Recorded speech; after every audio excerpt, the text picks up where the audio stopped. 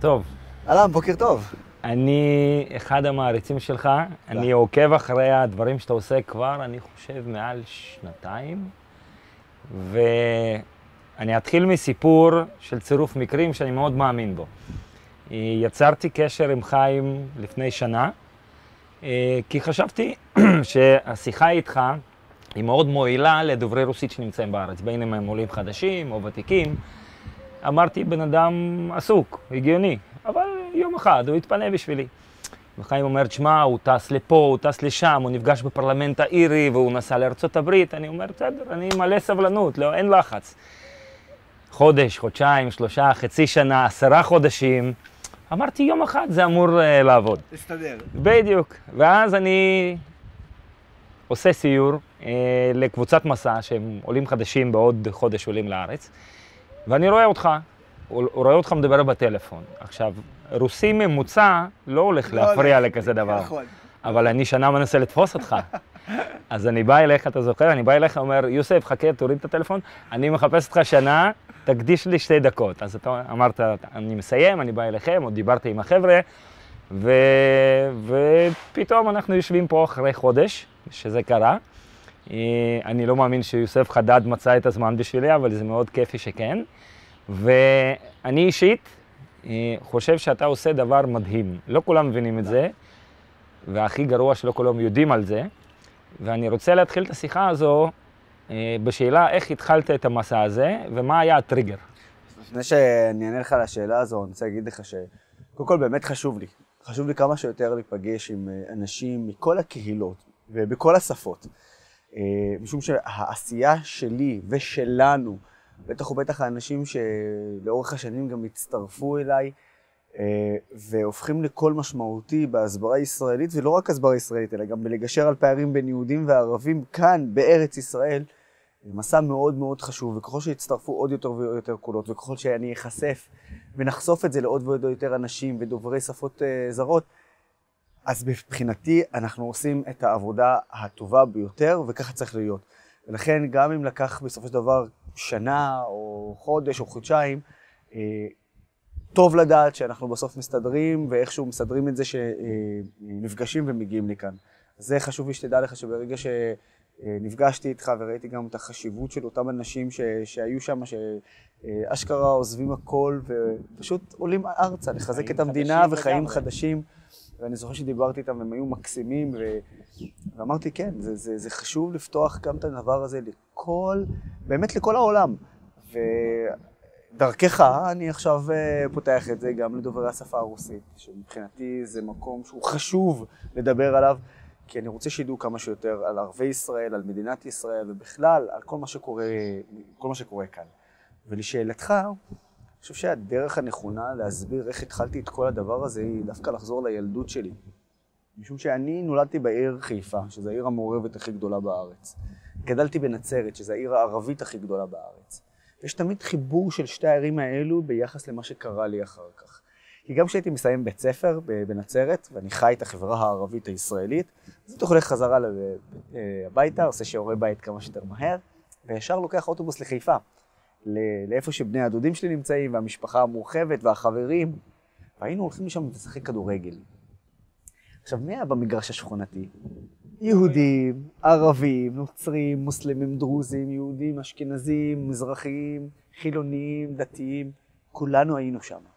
ובגיל הזה לא התייחסנו לזה יהודי, זה ערבי. לא עניין אותנו. זה תקפיץ כדור באוויר, יאללה, בוא נשחק. אתה מבין? וככה זה היה. ולאט לאט החברות הזאת התפתחה ללא רק כדורגל, אלא גם לאכול ביחד ולשתות ביחד ולבקר אצל המשפחות ובחגים. ולמעשה מה שיצרנו פה זה משהו שהוא מדהים בעיניי וסוג של בסופו של דבר נתן לי, או, או הראה לי את החזון של איך החברה הישראלית צריכה להיראות. כי, תקשיב, לא ערבבנו בין התרבויות, לא ערבבנו בין המסורת. מה שעשינו זה, הכרנו את התרבות ואת המסורת של האחר. ודרך התרבות והמסורת של האחר, להכיר את התרבות ואת המסורת של האחר, אתה גם מגשר על פערים בין אנשים, בין תרבויות. זה אגב גם שפה. תאר לעצמך הייתי יודע עכשיו את השפה הרוסית. עכשיו היינו מדברים ברוסית, היינו עכשיו, היינו עכשיו מצליחים גם באופן ישיר אני מצליח אה, לדבר לאנשים שהם אה, מדברים רוסית כשפת אם. וזה היה חוסך גם אה, לא מעט תרגום, ויותר מזה, הרי כשאתה מכיר את התרבות ואת המסורת, ולא רק את השפה, אתה גם יודע את הניואנסים הקטנים נכון. של אותו בן אדם. אז חבל לי שאני לא יכול לדעת את כל השפות של כל העולם, ואת כל התרבויות של כל העולם, אבל בהחלט אני שמח שיש לי את האפשרות גם שאני בא מהתרבות והמסורת הערבית, אבל גם להכיר את התרבות ואת המסורת של היהודים, בכלל של חברה, החברה הישראלית, זה עוזר לי לגשר על הפערים, שפה ולהכיר את התרבות. ומהמקום הזה, כשאני רואה שגם מבחינת השפה וגם מבחינת התרבות והמסורת, אנחנו כולנו מכירים אחד בשני, ולא נתנו לאף אחד להרגיש בחוסר שוויון. ואז כתוצאה מזה, הרגשנו הכי ישראלים שיש. לא, כי לא התייחסנו לזה כערבי וזה כיהודי, זה כנוצרי, זה כמוסלמי, זה כדור... לא, התייחסנו לכל אחד קודם כל כבן אדם, ואחרי זה הדבר הבא שבא, זה שכולנו ישראלים, אחרת לא היינו נפגשים פה. וכשזה קרה, פה הבנתי, אני חייב להילחם עבור זה.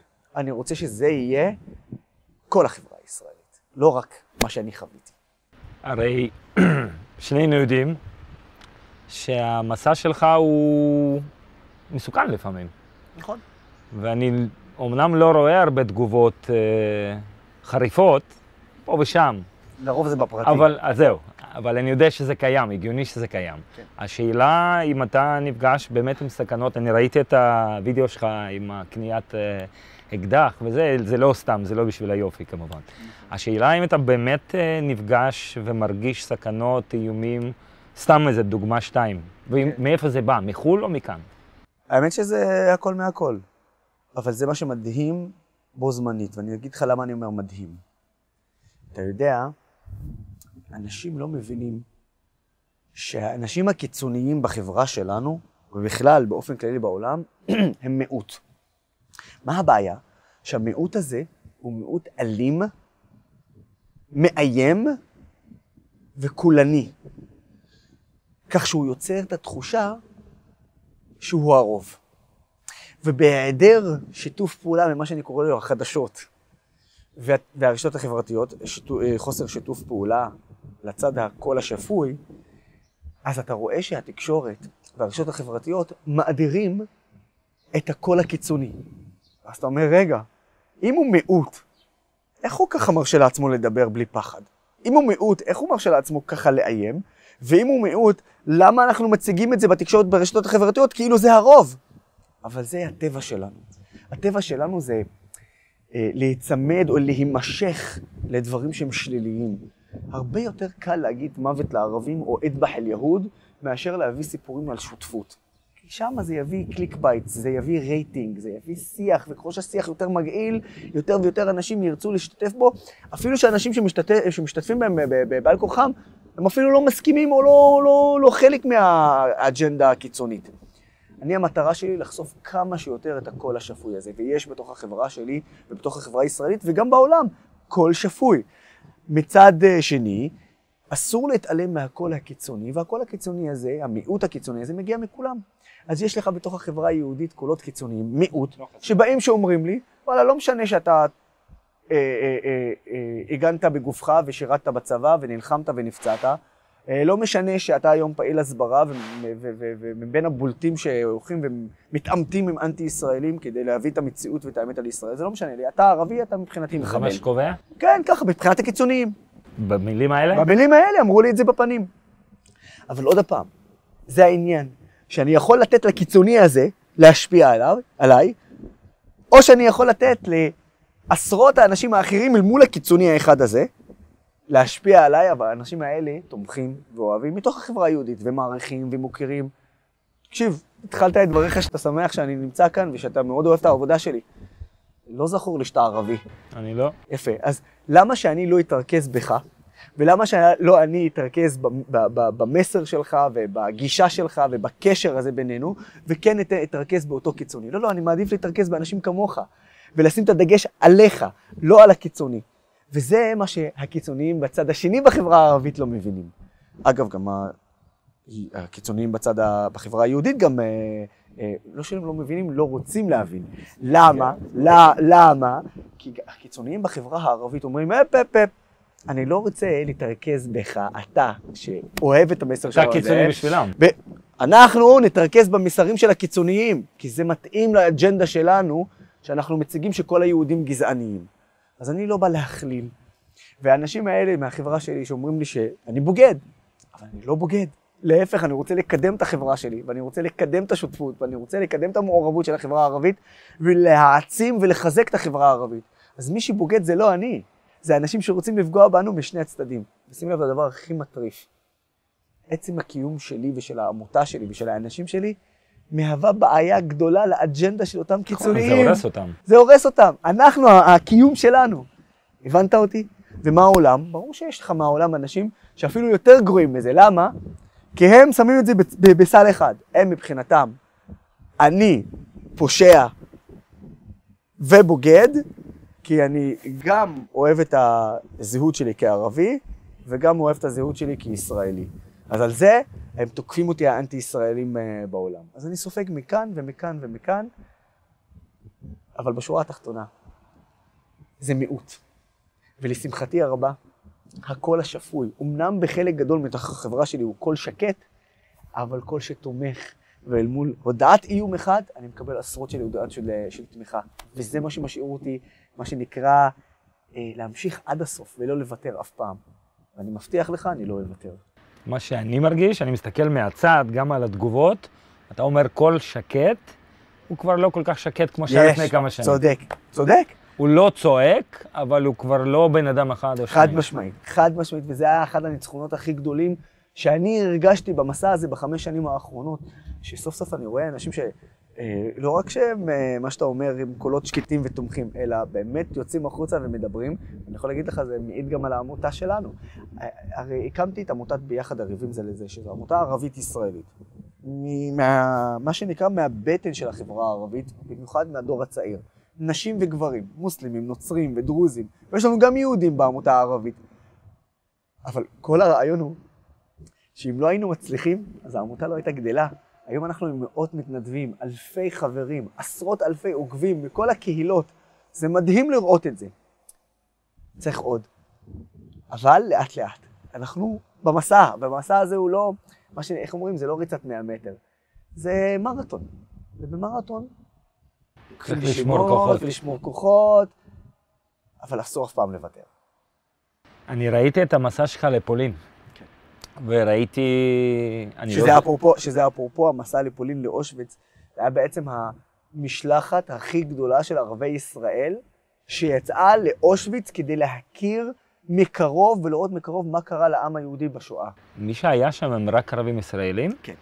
כי אני חשבתי אחד, אני חשבתי שאחד מאלה שהי, שהייתה שם היא ערבייה מאמירויות, והיא התחב... כאילו, היא, היא עכשיו אצלי בחברים באינסטגרם, איכשהו נראה לי שראיתי אותה, לא משנה.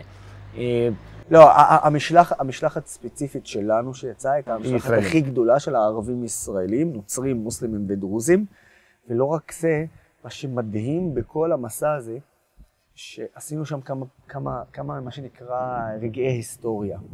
אה, גם קיימנו טקס בשפה הערבית לזכר ששת המיליון יהודים שנרצחו על ידי היטלר, והטקס הזה שודר בשפה הערבית בשידור ישיר לעולם הערבי. זה מטורף. ויום למחרת גם צעדנו במצעד החיים, וזה היה מטורף כי אתה רואה קבוצה של ערבים ישראלים לצד יהודים דוברי השפה העברית ולצד יהודים שהם דוברי השפה האנגלית למשל. ואנחנו הולכים ביחד וצועדים במצעד החיים, ופשוט שרים ביחד כל אחד בשפה שלו את אותו שיר. עוד יבוא שלום עלינו, רחנג'י בסלאם עליכום. זה היה מטורף. זה היה מטורף לראות את זה. זה כל כך ריגש אותנו ו- ו- וגרם לנו באמת אה, להרגיש שאנחנו עושים היסטוריה. זה היה פשוט מדהים. ככה מגשרים על פערים. כמה אנשים היו במשלחת? זאת אומרת, למה? האם הם גם הבינו שחשוב להם להגיע איתך לשם? תראה, תראה, אני אגיד לך דבר כזה. מעולם לא היה לי קל יותר. אה, מה זה קל יותר? אנשים היו צריכים להיאבק בשביל להיכנס למשלחת. תראה, אני אגיד לך דבר פשוט מדהים. מעולם לא הייתה לנו רשימת המתנה למשלחת כמו שהיה לנו במשלחת האחרונה, ואני אגיד לך שזה פשוט מדהים. מספר המקומות הוא מוגבל. אומנם הצלחנו להביא כמה עשרות ולהוציא אותם לפולין, ושוב, להיות המשלחת הכי גדולה אי פעם, אבל מעניין של תקציב לא יכולנו לקחת 100 ו-200. אם היה לי את האפשרות, אני אומר לך, אתה יודע מה הדבר הכי מדהים? תוך כדי שאנחנו בפולין, הרי העלינו, מה שנקרא בשידור חי, העלינו דברים מהיום-יום. אני לא אשכח את זה בחיים. היושב ראש העמותה, ועד העמותה, בא אליי, אומר לי, יוסף, אתה ראית את האתר שלנו? אני עושה לו, מה קרה? אומר לי, כנס תסתכל. אני נכנס, ואני רואה ברובליקה של התנדבות והבקשה להצטרף למסע לפולין, הגענו לבערך מאות בקשות להצטרף למסע לפולין בשנה הבאה. לא פתחנו עוד את ההרשמה אפילו. אתה מבין איזה מערבים? טירוף? בטח, מהחברה הערבית הישראלית. אתה מבין איזה טירוף זה שעוד לא פתחנו בכלל את ההרשמה לשנה הבאה? מאות באופן יזום אמרו, אנחנו רוצים לבוא, אנחנו רואים את מה שאתם מעלים לרשתות החברתיות, רואים את הסיורים, רואים את המסע, רואים את החוויות, את, ה, את, הלימוד שאנחנו ב... ב... זה פשוט מדהים בעיניי. אני הסתכלתי ואני מדבר עם אליאס ואני אומר לו, שמע, אני מלא דמעות. אני... זה מרגש אותי. זה מרגש אותי לדעת פרויקט שהקמנו מאפס ויש לו ביקוש בתוך החברה הערבית. איזה מדהים זה. מדהים. כשאני רואה את הנסיעות שלך לחוץ לארץ, במיוחד שזה קורה בחוץ, ברחובות, הרבה מפגינים פרו-פלסטינים, עם דגלים, עם שלטים נגד אפרטהייד למיניהם וכל מיני דברים כאלה. כשאתה מתחיל לדבר איתם ולשאול אותם שאלות, כבן אדם שאתה יודע היסטוריה, ואתה שואל שאלות די פשוטות, שיש אותן בוויקיפדיה, והם מתקשים לענות. ויש הרגשה שהם גם לא יודעים באמת מה קורה פה, והם לא היו פה, ואין להם מושג מה זה, מה זה סכסוך ערבי-ישראלי, פלסטיני-ישראלי, אבל הם עדיין עומדים שם עם כל מיני שלטים כאלה. השאלה, למה בן אדם שהולך להפגין, הוא לא יודע בדיוק על מה הוא הולך להפגין. أخذوها من أهله القدس القدس القدس سؤال. اتأخذت يونان من من فلسطين؟ كيف؟ القدس اتخذت من الفلسطينيه اتأخذت من أهل فلسطين من اللي اهل كانوا فلسطين موجودين من طيب زمان سؤالي لك So anyway, I have a question. You said that Jerusalem was taken by the uh, from the by Palestinians, yeah. from the Palestinians. Really simple question. Jerusalem was reunited for Israel in 1967. Now my question to uh, yes, in 1967, from 48 to 67, from 48 to 67, who controlled Jerusalem? Israel only started to control Jerusalem from 67.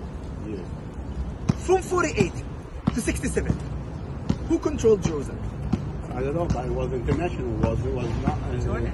Jordan, Jordan. Illegally. Jordan. I have a question. If Jordan controlled Jerusalem and the West Bank from 48 to 67, and Egypt controlled Gaza from 48 to 67, why in God's help why Jordan didn't give this land to Palestine why Egypt didn't give Gaza to Palestine why from 48 to 67 the countries who controlled it Palestine doesn't exist. That's interesting. But it could have. משום, ש, משום שרובם או שהם אה, מוטים בכוונה, או שהם מוטים לא בכוונה. אני אסביר. יש כאלה שיודעים שהם משקרים, יודעים שהם מעוותים את המציאות, אבל הם רוצים לקדם אג'נדה מסוימת, שאו שהם מקבלים עליה כסף, או שהם מגיעים מחינוך מסוים, או שהם מגיעים אה, מרקע מסוים, כן?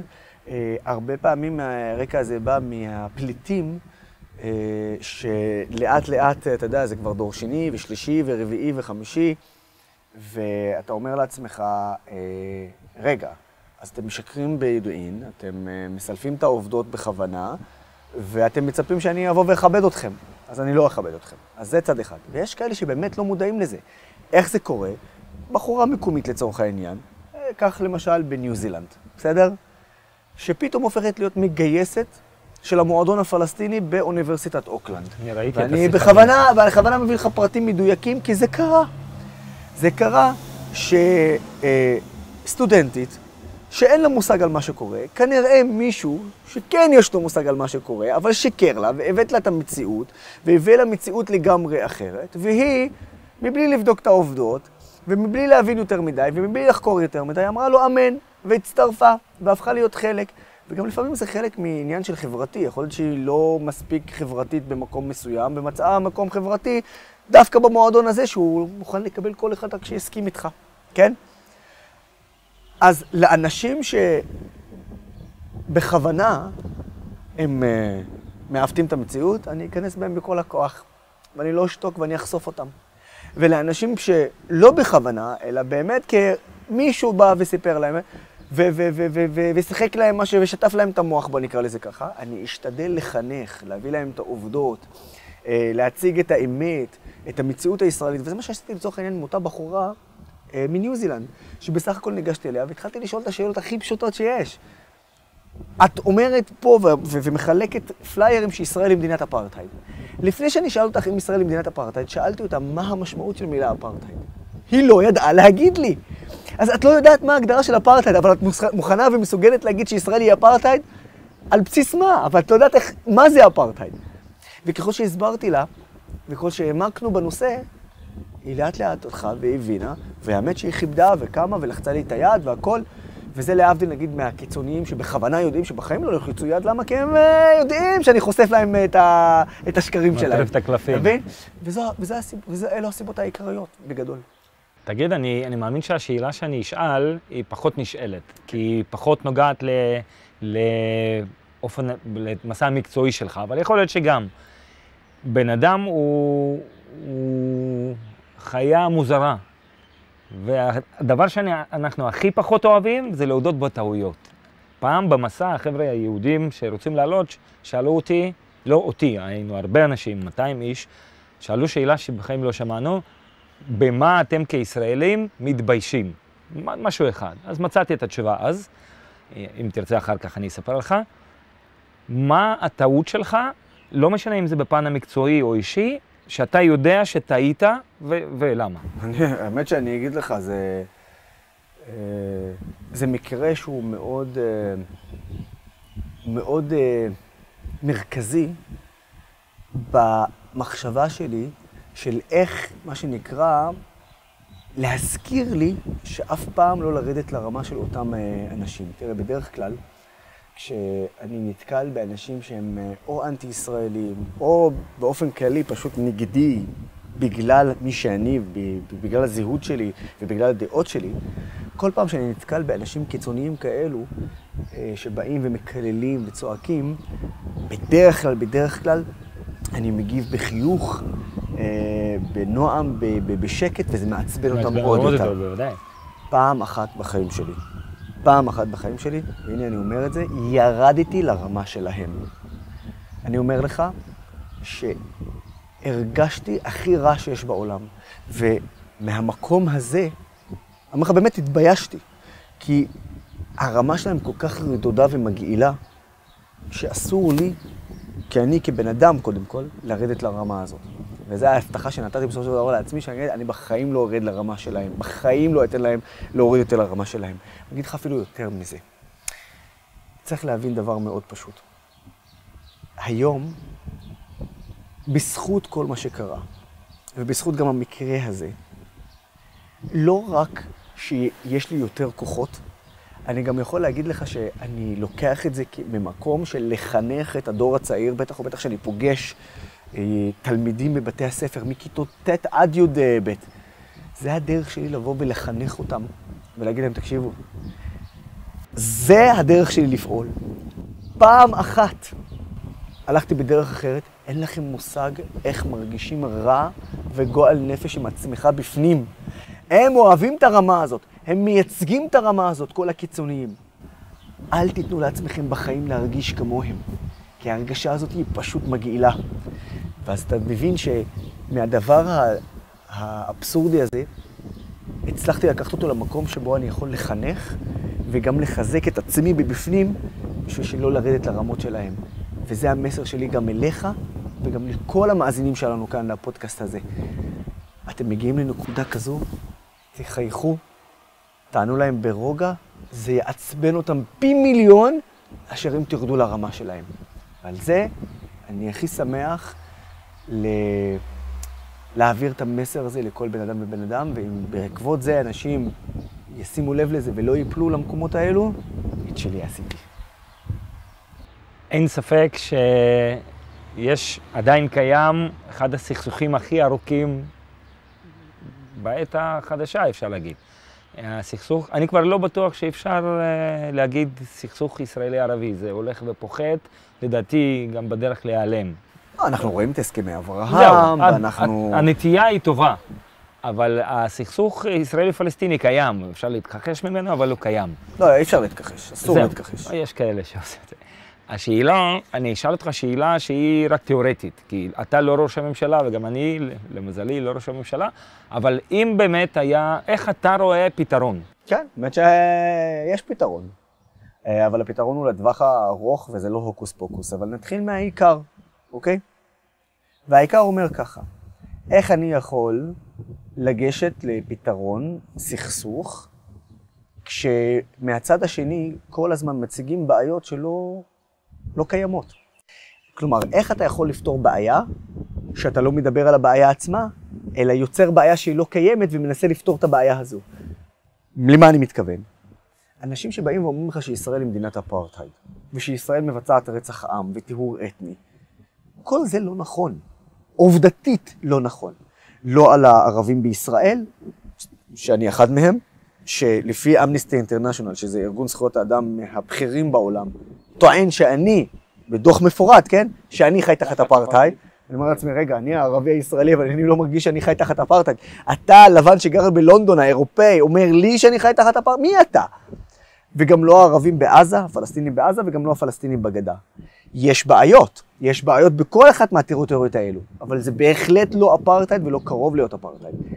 אין רצח עם, אין טיהור אתני, זה לא קיים. לכל אלה גם יש עובדות, כמו למשל העובדה שהמשרד המרכזי, הסטטיסטיקה המרכזית הפלסטינית, שאומרת שמאז קום המדינה, של מדינת ישראל, ועד עד היום, אין שטח אחד, או עיר אחת, או כפר אחד, שיש בו דילול באוכלוסייה, רק עלייה באוכלוסייה הפלסטינית, וזה הפלסטינים אומרים, לא הישראלים.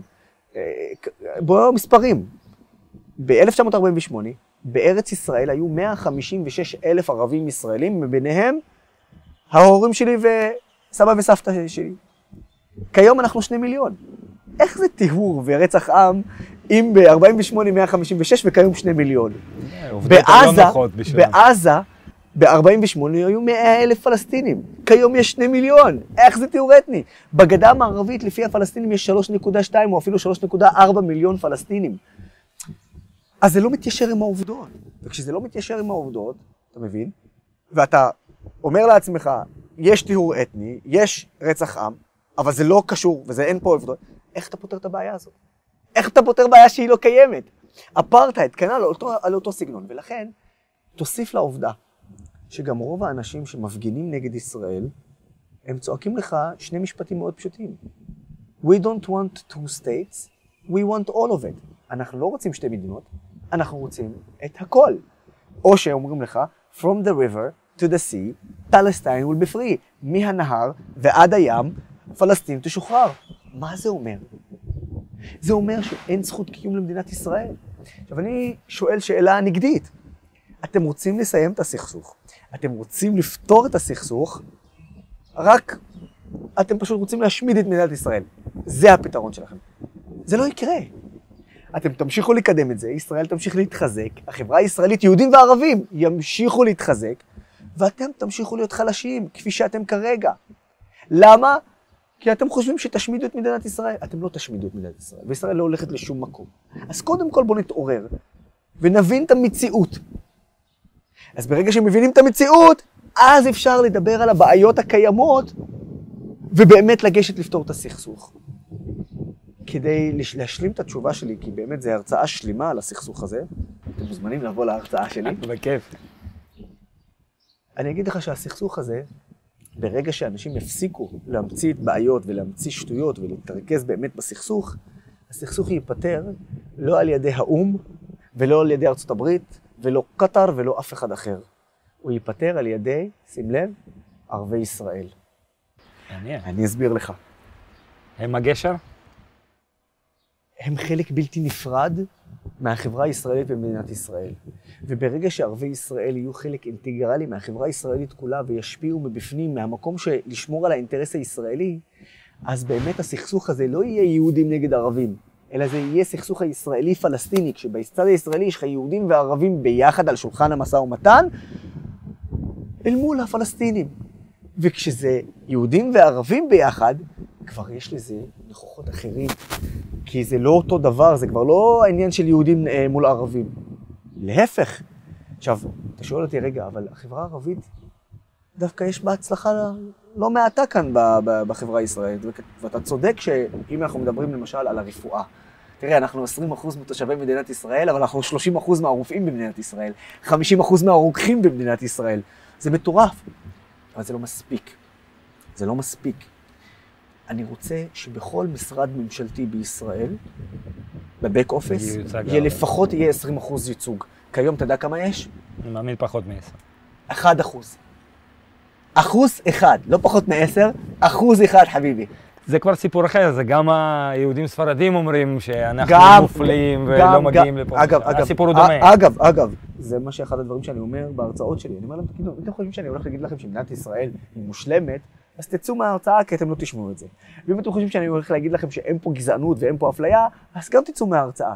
אבל אני אגיד לכם עוד שני דברים.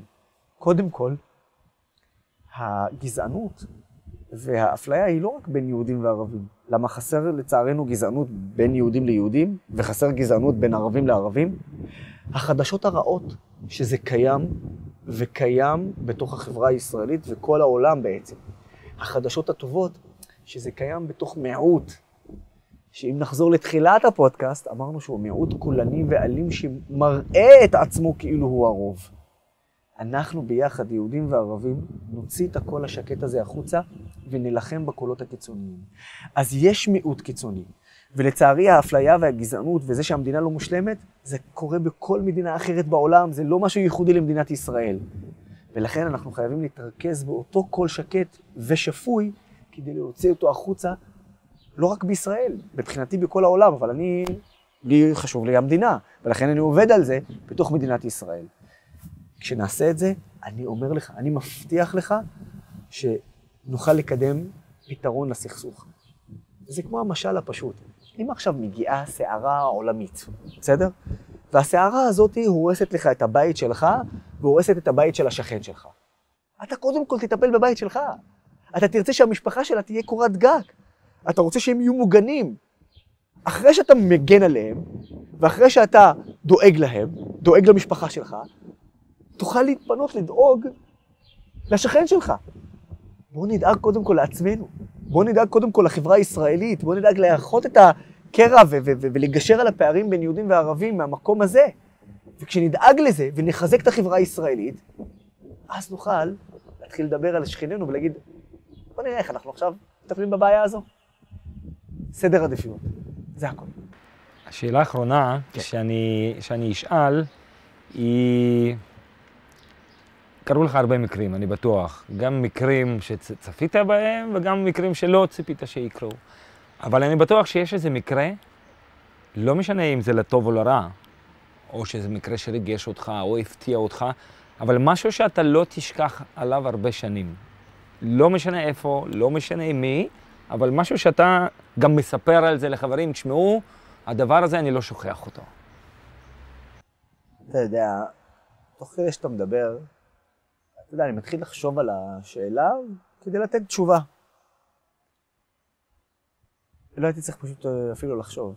כי באופן אה, אוטומטי, איך שאתה אומר מה ריגש אותך, אה, מה...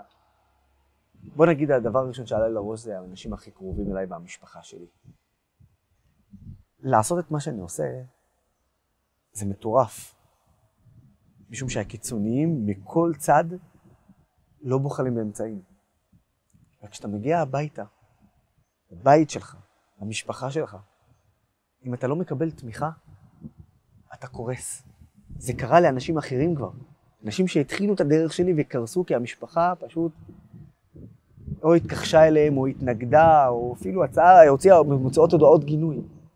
ואני, המזל שלי, שהמשפחה שלי מחזקת ותומכת, והאנשים הקרובים אליי, והמשפחה זה לא רק אימא ואבא, זה אימא ואבא, והאחים שלי והאחיות שלי, והאנשים והחברים הכי קרובים אליי, וזה ארוסתי, זה כולם, כל, ה, כל, ה, כל הקבוצה הזאת ביחד, שכל הזמן תומכים, וכל הזמן אה, נותנים לי את התחושה שאני וחבריי לעמותה ולמסע הזה, עושים עבודה כל כך חשובה למען החברה הישראלית ולמען מדינת ישראל.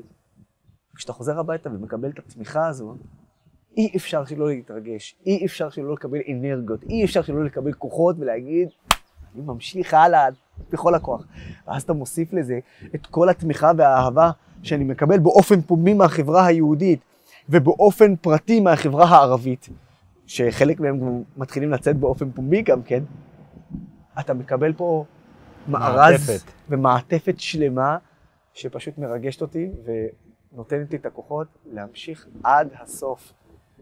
ובהחלט גם תוסיף לכל זה את האמונה האישית שלי, שאני באמת מאמין בדרך שאני הולך, ואני באמת חושב שזה הדרך, שזו הדרך הנכונה כדי לשפר את המצב שלנו וכדי לחזק את החברה הישראלית, וכמובן כדי לקרב בין יהודים וערבים, ואז אתה מקבל את החבילה המלאה שבה אני מגיע בביטחון להגיד לך שאני לא אוותר אף פעם.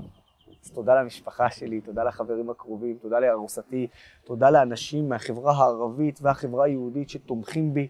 פשוט תודה. בלעדיכם אי אפשר לעשות את זה. אני מתרגש כבר אחרי שאתה אומר את זה.